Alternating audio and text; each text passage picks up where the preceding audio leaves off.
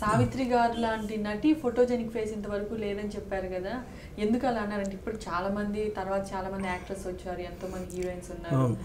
ఎందుకు అలా కామెంట్ ఈ తర్వాత కాలం అంటే వాళ్ళు కెమెరా రంగం వాళ్ళే చెప్తూ ఉంటారండి డిస్కషన్స్లో. ఇప్పుడు ఒక ఐశ్వర్య రాయని కూడా అన్నారు అట్లా.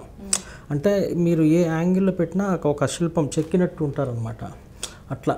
అలా సావిత్రి గారు అప్పుడు ఆ కన్ను బొమ్మలు కానీ ఆ ముక్కు అంటే అదేదో చెక్కినట్టు అంటే ఫోటోజెనిక్ ఫేస్ అదేదో సినిమా కోసం చేయబడ్డ ఫేస్ అది అన్నట్లు. సిల్వర్ స్క్రీన్ కోసం చేయబడ్డ ఫేస్ అన్నట్టు. చాలామంది చెప్పారు అది అది అది- అది మనం చూస్తేనే అర్థమవుతుంది లేండి అంతమంది ఓన్ చేసుకుంటున్నాం అంటే అసలు ఆ వెలుగు వేరు ఉంటుంది ఆవిడ ఫేస్లో ఉన్న కాంతి కానీ ఆ వెలుగు వేరు. చాలా మంది డైరెక్టర్స్ కూడా చెప్పేవాళ్ళు ఏ హీరోయిన్ అన్ని యాంగిల్స్లో పర్ఫెక్ట్గా ఉండదు. కొన్ని యాంగిల్స్లోనే పర్ఫెక్ట్గా ఉంటుంది కాబట్టి మేము కొన్నే బాగా చూపిస్తామని. కానీ నేను విన్నది ఫస్ట్ టైం అందరు మేకప్ మ్యాన్లు కానీ ఆవిడతో చేసిన వాళ్ళు కానీ ఫోటోజెనిక్ ఫేస్ ఏ యాంగిల్లో ఉన్నా బాగుంటుంది అసలు అని చెప్పారు కదా. మీకు తను ఎప్పుడు పర్సనల్గా మీట్ అవ్వలేదు కాబట్టి ఆ సావిత్రి గారి సినిమాలు చూసినప్పుడు అలా అనిపించింది? వాళ్ళు ఎందుకు చెప్పారు? హండ్రెడ్ పర్సెంట్ అండి హండ్రెడ్ పర్సెంట్ అసలు ఫీజ్ టు ది ఐస్ మీరు చూడండి నేను పాటల్లో కానీ ఆవిడని చూపిస్తుంటారు కదా ఎంత ఎంత పర్ఫెక్ట్గా ఉన్నారు ఆవిడ అన్నట్లు అనిపిస్తుంది మీకు. చిన్న చిన్న పేదాలు ఆవిడ మీరు ఎప్పుడైనా చూస్తే మంచి మంచి ఎక్స్ప్రెసివ్ ఐస్ చాలా బాగుంటుంది. నా జీవితంలో అసంతృప్తి ఏంటంటే నాకు సుశీల్ గారి పాట కూడా నాకు చాలా ఇష్టం. ఆ వాయిస్. మళ్ళీ అలాంటి వాయిస్ మనం వినాం సుశీల్ గారి వాయిస్. సావిత్రి గారి యాక్టింగ్. అంటే లేడీస్ పరంగా అయితే అయితే నాకు అసంతృప్తి ఏంటంటే సావిత్రి గారిని ఇంతవరకు చూడలే ఇంకా చూడలేను. అయితే సుశీల్ గారిని చూశాను. బాగా చాలా సన్నిహితంగా వారితో ట్రావెల్ చేయగలిగానని ఒక ఆనందం. ఇక్కడేమో అసలు ఈమెను ఎప్పుడు చూడలేనే అన్న బాధ. సావిత్రి గారు అంత చిన్న ఏజ్లో అంత తక్కువ టైంలో ఒక తారలాగా వెలిగిపోయి సావిత్రి గారి జనరేషన్లో ఉన్న వాళ్ళందరిలో కల్లా ఫస్ట్ చనిపోయింది సావిత్రి గారే కదా? Hundred percent. అది ఎప్పుడు ఆ బాధ మిమ్మల్ని బాధిస్తూనే ఉంటుంది కదా? అప్పటి జనరేషన్ జమున గారితో కృష్ణకుమారి గారితో రామారావు గారితో కలిశారండి? నాగేశ్వరరావు గారు. వీళ్ళందరినీ కలిశారు. చాలా అర్లీగానే చనిపోయారు కదా. ఫార్టీ ఫైవ్ ఇయర్స్ బాధ ఇప్పుడు మీకు తీరని బాధ ఇంకా. సావిత్రి గారు రారు.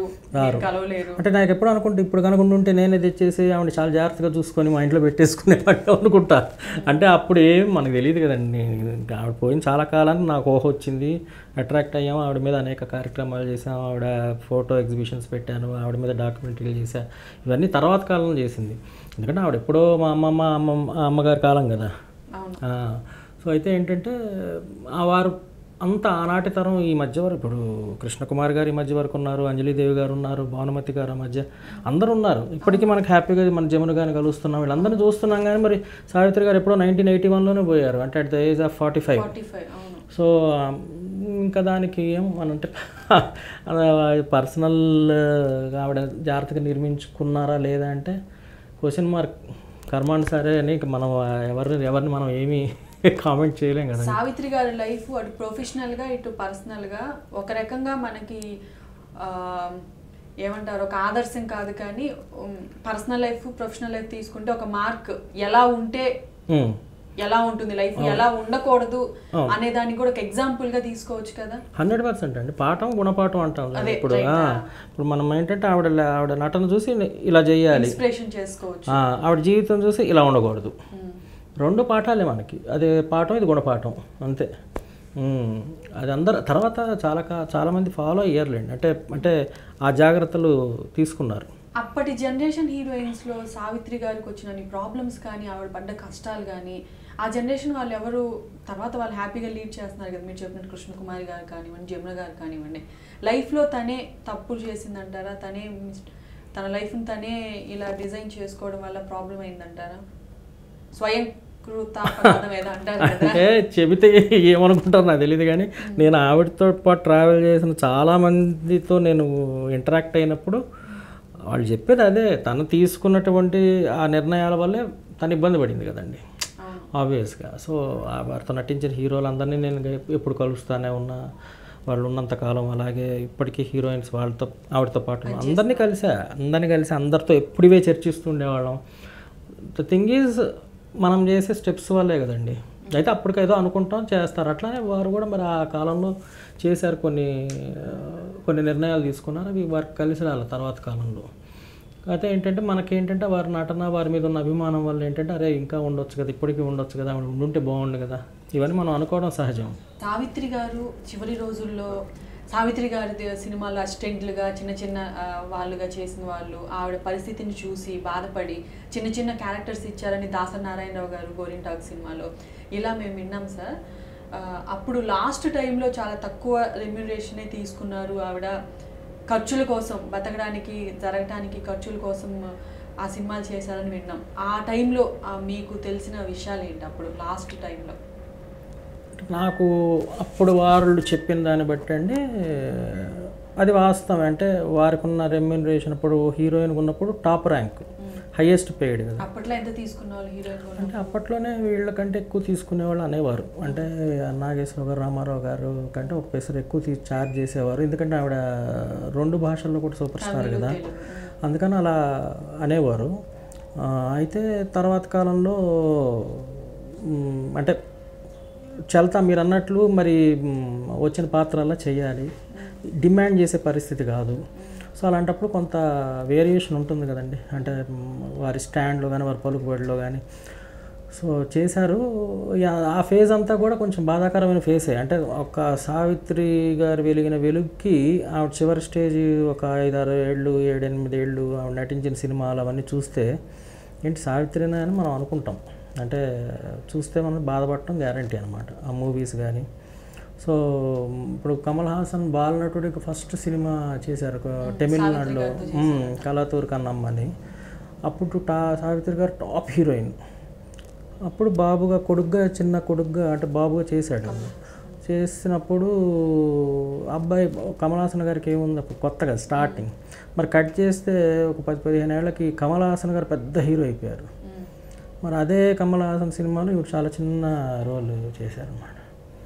అంటే తల్లిగా ఒక చిన్న అవన్నీ చూస్తుంటే ఏంటంటే మనకు అనిపిస్తుంది. అయ్యో ఏ- గుండెలు బరువెక్కుతాయి నిజంగా. సావిత్రి గారి స్టోరీ వింటే. అదొక సినిమా కథలానే ఉంటుంది నిజంగా. అవునవును మీకు ఆ రెండు ఫోటోలు కూడా చూపిస్తా. అంటే కళాతూరు కన్నమ్మ అప్పుడు ఆ తర్వాత నెక్స్ట్ ఇది.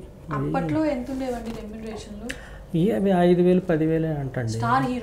అప్పుడు ఆ రోజుల్లో లేదు అప్పుడు అంత ఎప్పుడు లేదు. ఫిఫ్టీన్ థౌజండ్ అనేది హైయెస్ట్ అని చెప్పారు. Seven thousand ten thousand fifteen thousand అంటే పెద్ద రెమ్యునరేషన్లు. ఎప్పుడు నైన్టీన్ ఫిఫ్టీస్ సంగతులు నేను చెప్పేది మీకు. చాలా పెద్ద రెమ్యునరేషన్. ఇది long back nineteen fifties. One lakh ఎప్పుడు ఈయన వన్ ల్యాక్ నాగయ్య గారు తీసుకున్నారట. చిత్తూరు నాగయ్య గారు అని అప్పుడు హీరో ఆయన అప్పట్లో వన్ ల్యాక్ తీసుకున్న హీరో. అంటే అది చాలా పెద్ద రెమ్యునరేషన్ ఆయన నైన్టీన్ ఫార్టీస్లో కదా బాగా పాపులర్ థర్టీస్ ఫార్టీస్లో ఫార్టీస్ ఎండింగ్లో ఒకటి రెండు సినిమాలకు ఆయన అట్లా తీసుకున్నారు అన్నారు. బట్ మామూలుగా అయితే ఇదే నడిచిందండి. అది స్టార్టింగ్లో అయితే అంత మంత్లీ శాలరీస్ కదా వీళ్ళు. విజయ ప్రొడక్షన్స్ ఈ సంస్థల్లో వీళ్ళందరూ కంపెనీ స్టాఫ్ ఆర్టిస్టుల లాగా ఉన్నారు.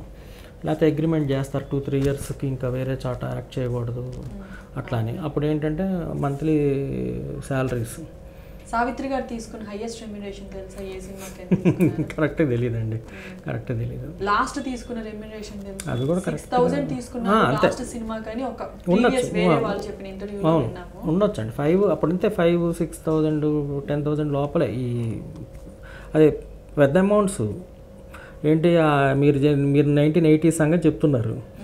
ఫైవ్ థౌజండ్ ఎవరిని అంటే అప్పటికే మంచి రెమ్యునరేషనే కాకపోతే ఏంటంటే ఈవిడ ర్యాంక్కి తక్కువ అది. ఇప్పుడు మామూలుగా ఇప్పుడు ఆర్టిస్టులు క్యారెక్టర్ ఆర్టిస్టులకి కరెక్ట్ రెమ్యునరేషన్ కానీ ఈవిడ ర్యాంక్ తక్కువ అది బాగా. ఈవిడ చాలా హై అప్పట్లోనే తీసుకున్నారు కదా ఫిఫ్టీస్లోనే please subscribe to Mirror TV please subscribe to Mirror TV thank you please subscribe to Mirror TV please subscribe Mirror TV you watching this on Mirror TV please like share and subscribe please watch and subscribe to Mirror channel you watching this on Mirror TV please like share and subscribe You're watching this on Mirror TV. Please like, share, and subscribe. You're watching me on Mirror TV. Please do like and subscribe this.